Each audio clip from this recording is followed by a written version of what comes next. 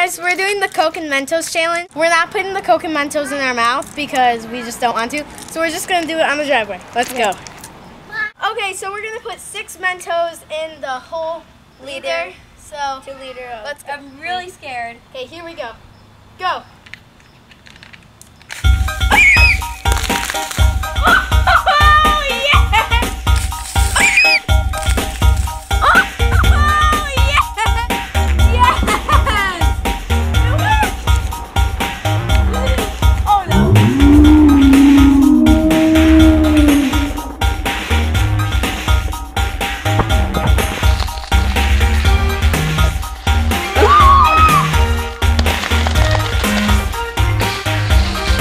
Okay, so that succeeded.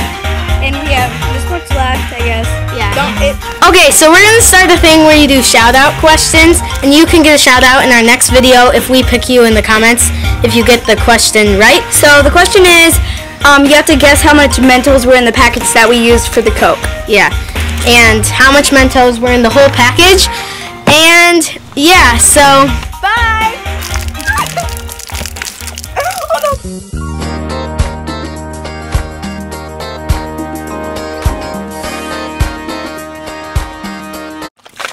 And now it's time for to shake the Coke.